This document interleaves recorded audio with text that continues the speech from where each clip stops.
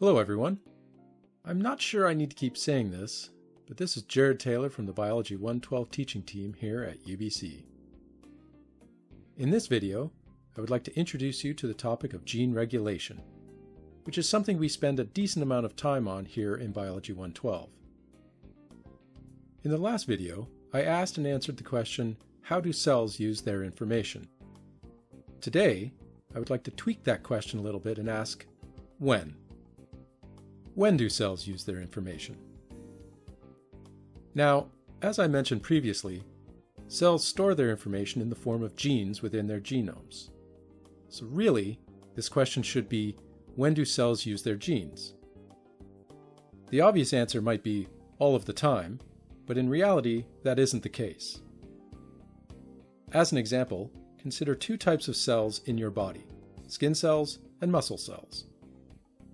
Both cell types have the same complement of DNA and genes, or to say it another way, they have identical genomes. Yet, skin cells and muscle cells are different in appearance and function. This differentiation is due to each of them using a different set of the available genes to produce RNA and protein. A better way to state this is to say that each cell type is transcribing a different set of genes, and we refer to this as having different transcriptomes. The main takeaway of this is that these two cell types are clearly not using all of their genes all of the time. Another common example of this, and one we will cover in detail here in Biology 112, is bacteria and food molecules. Bacterial cells often contain many different genes that code for the proteins necessary to grab and digest different sugar molecules. However, making these proteins is a waste of energy and resources if those sugar molecules are not available. Thus, those genes are not normally transcribed. When the cell detects the availability of a certain sugar molecule in the environment, it can quickly respond by transcribing the relevant genes to make the proteins that will allow it to absorb and eat the food. So, returning to our question of when do cells use their genes, the answer is when they need to. By the way, we usually refer to cells using their genes as cells expressing their genes. To put it more simply, we refer to this as gene expression.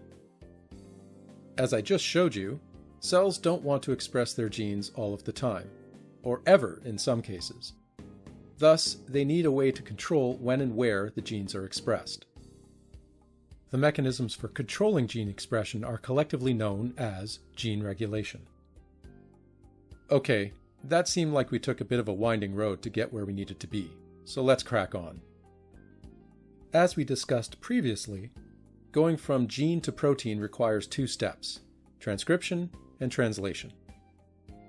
Since performing either of these processes for unneeded proteins would be a waste, it makes sense that most gene regulation is about controlling the first step, transcription.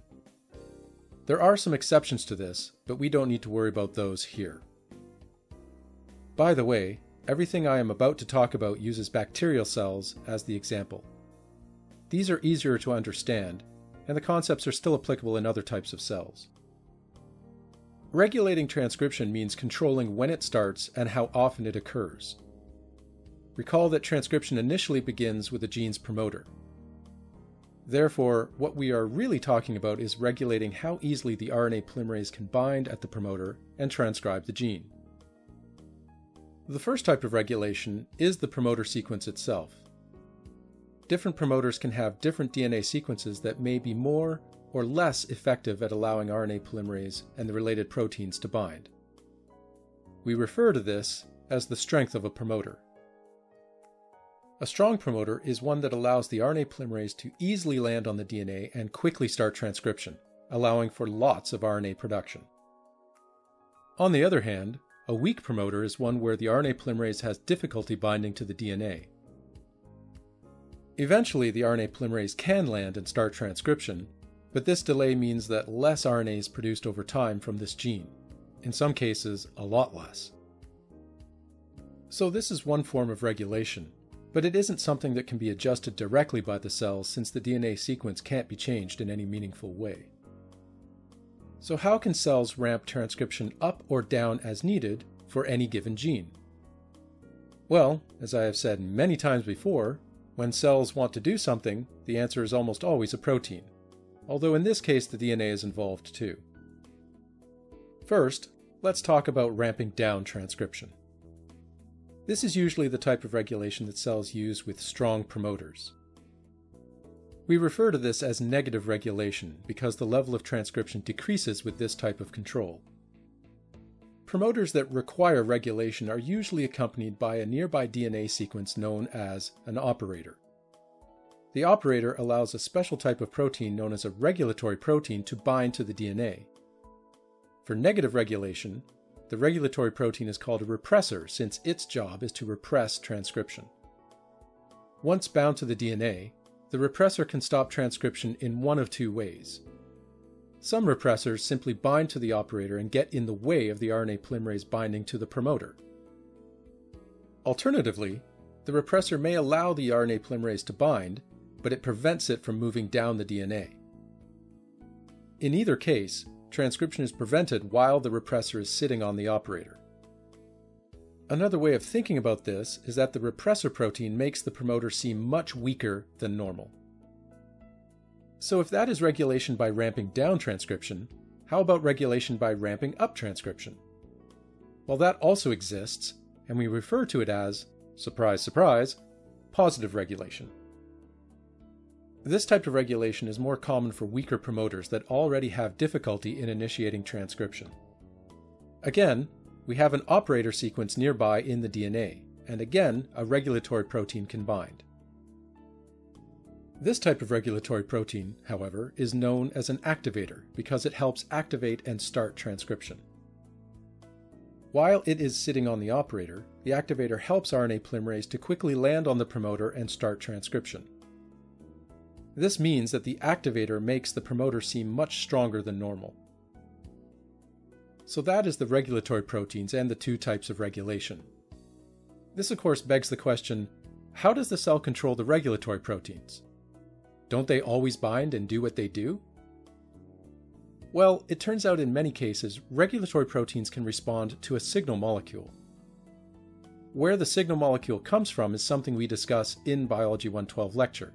But for now, let me just say that the concentration of the signal molecules change how the regulatory proteins behave. This happens because the signal molecules can bind to the regulatory proteins and change their shape from functional to non-functional, or vice versa. Like regulatory proteins, there are two types of signal molecules. Signal molecules that cause an increase in transcription are called inducers. On the other hand, signal molecules that cause a decrease in transcription are called co-repressors. Note that both types of signal molecules can be used with both types of regulatory proteins. Some inducers control activator proteins, while others control repressors. Likewise, some co-repressors control activators, and some control repressors. This means there are four possible regulatory combinations.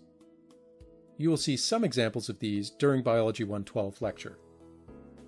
And that, dear students, was an introduction to gene regulation. We will spend a decent chunk of time in lecture discussing these concepts in detail and showing you some actual examples of how these regulatory systems work inside cells.